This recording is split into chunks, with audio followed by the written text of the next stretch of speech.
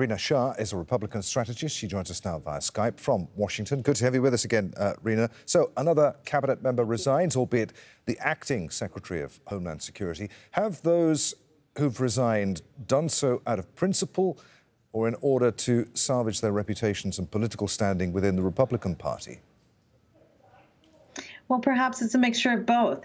And I think this is the moment where obviously one's loyalty to party and country were questioned. I'm a longtime country over party voter myself, and I must say, uh, not having voted for President Trump in, in either election, 2016 or 2020, made me the culprit in today's Republican Party. People in the Republican Party labeled folks like myself as never Trumpers. That was a label I never wanted. I didn't want to identify myself as having had anything to do with this president, but that was a label given to us. They also said we had Trump derangement syndrome every time we warned about violence in the future and we warned about the threat to the Constitution. What we saw happen last week in real time was people finding their morals, finding their principles, and re- remembering the very American values which have made this country prosperous and, and great for for generations before I got here.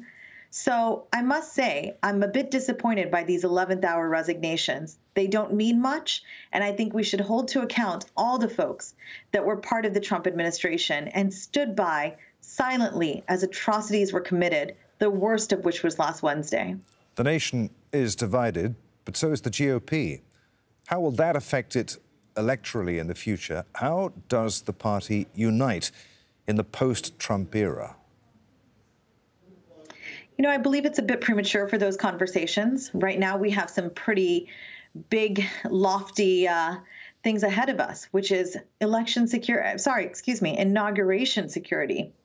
Also, getting through to our fellow Americans that this election was not rigged, that there's no data to support that, that assumption, that notion that President Trump pushed out there and decried that the election was rigged by Democrats and that something was skewed against conservatives nationwide, particularly in states where he fell short and, and lost to Biden consequential states for him.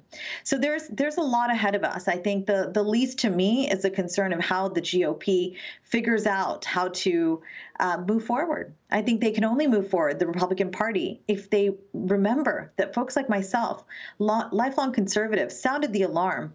And we chose to put country over party because we knew the threat that this president posed. We knew he was never a conservative and that he was really not here to do the work of the American people nor that of Republicans. He's a person who has driven up the national deficit. That's not very conservative.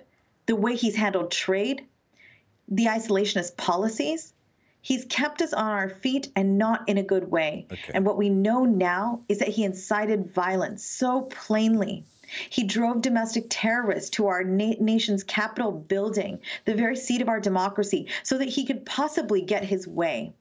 What we need to do now is to figure out how those who enabled him, senators and congresspeople alike, members of both chambers, are taught a lesson I fear, though, that it will take them to get to the electoral ballot box, the ballot box. I believe it's going to take electoral losses for these people to finally wake up and realize that the GOP must change course, must course correct in order to remain a viable party.